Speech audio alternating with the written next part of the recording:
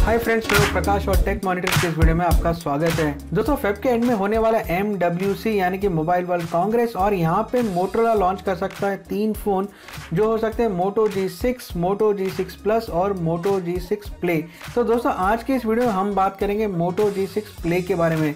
दोस्तों, यहाँ पे इसकी डिज़ाइन और कुछ स्पेसिफिकेशन बाहर निकल के आ चुके हैं, जिसे आगे इस वीडियो में मैं आपके साथ शेयर करूँगा। दोस्तों, फ़िलहाल ये लीक्स और रूमर्स है, लेकिन अगर आप इसके बारे में पूरी तरह से जानना चाहते हैं तो इस वीडियो को आप लास्ट तक देखते रहिए। दोस्तों, आगे चल के अगर आपको ये वीडियो पसंद आता है तो वीडियो को लाइक करिए और चैनल को सब्सक्राइब। दोस्तों मोटो जी सिक्स प्लस के बारे में मैंने एक अलग से वीडियो बनाया है और वहाँ पे मैंने आपको बताया उसका डिज़ाइन कैसा है और किस तरह का स्पेसिफिकेशन उसमें दिया जाएगा। अगर वो वीडियो आप देखना चाहते हैं तो उसका लिंक ऊपर इस वक्त आई कार्ड में दिखाई दे रहा होगा। मैं रिक्वेस्ट करूँगा, आप वो वीडियो भी चेक कर लीजिए। दोस्तों, अब हम बात करते हैं मोटो जी सिक्स प्ले के बारे में। तो कुछ ऐसा ये फ़ोन दिखने वाला है और यहाँ पे आप देख सकते हैं फ़ोन दिखने में काफ़ी प्रीमियम है।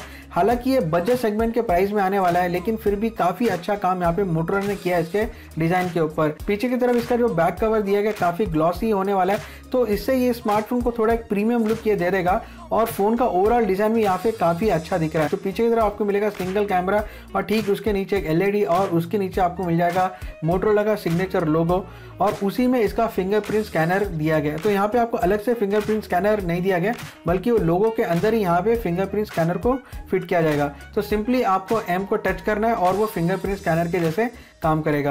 तो दोस्तों, सामने की तरफ़ आपको ऊपर मिलेगा सेल्फी कैमरा फ़िलहाल इसकी रेजोल्यूशन कंफर्म नहीं है, लेकिन यहाँ पे भी आपको एलईडी फ्लैश देखने के लिए मिल जाएगा।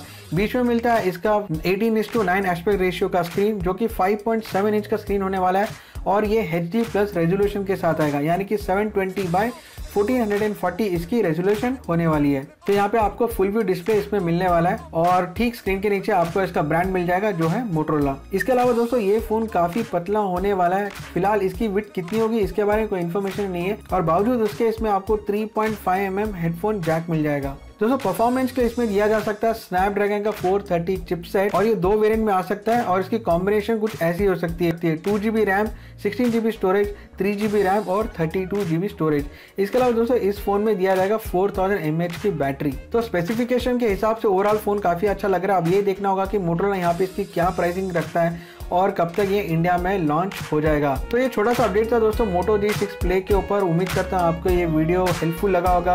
अगर ये वीडियो आपको पसंद आया तो वीडियो को लाइक करिए शेयर करिए कमेंट करिए। चैनल को अगर आपने अभी तक सब्सक्राइब नहीं किया तो चैनल को भी तुम्हें सब्सक्राइब कर लीजिए। आज की इस वीडियो में इतना है दोस्तों। इस वीडियो को देखने के लिए आपका बहुत बहुत धन्यवाद। जय हिंद, वंदे मातरम।